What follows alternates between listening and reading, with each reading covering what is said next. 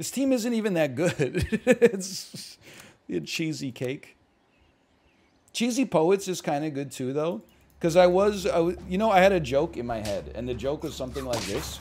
Poets, sorry, I didn't run the casino. Sorry, sorry, I forgot about the important part, the casino.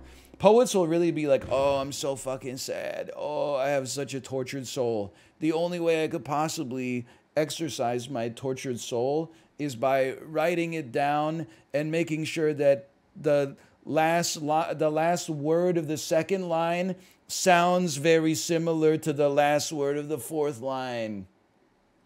Oh, the only way I could possibly express my pain is to do it in such a way that the last word of every line sounds a lot like the last word in the line that preceded it. That's just music? Well, we've we've done this bit before. I always laugh when people are like, "Hey, that song's not good because they broke a rhyming rule." You really judge like your favorite music based on how much they adhere to how how much the words sound alike? You know what you should listen to? Pentatonix. One, two, three, four, five, five. Wonderful voices. Bow. Best poems don't rhyme. For example, Baby Shoes worn, Never Worn. By the way, not the saddest story ever written in five words, because it's four words. Wait, no, for sale, baby shoes never worn, six words. Okay. Saddest story in six words for sale, baby shoes worn once. That's a sadder story. No, maybe the baby just outgrew them. Okay, maybe the baby didn't like the shoes. For sale, baby shoes never worn. They never fit in the first place. For sale, baby shoes worn once. My baby was kidnapped by aliens the first time we put the shoes on. But they left the shoes.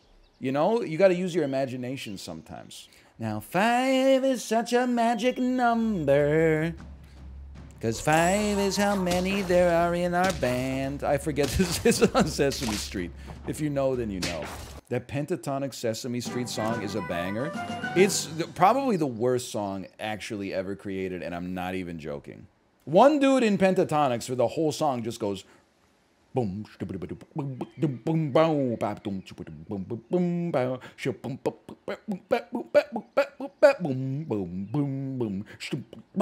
that's all that's his job in the band.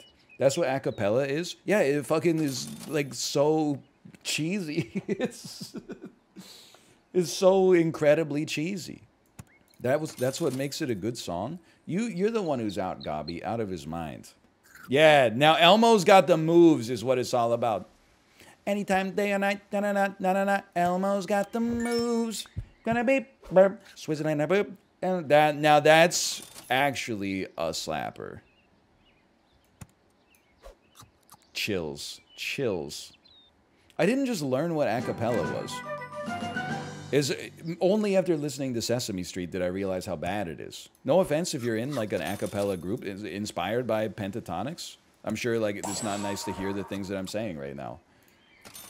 Hey, at the end of the day, you know, you can console yourself by acknowledging I'm just one person and my views only represent the plurality of human beings, maybe even the majority, but not everybody.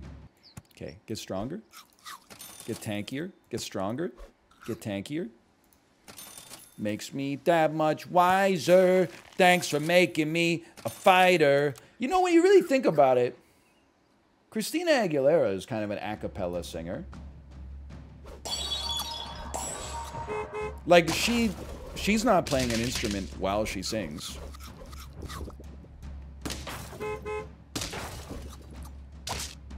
I'm dead. She's singing a cappella, and then there's just like people behind her playing instruments.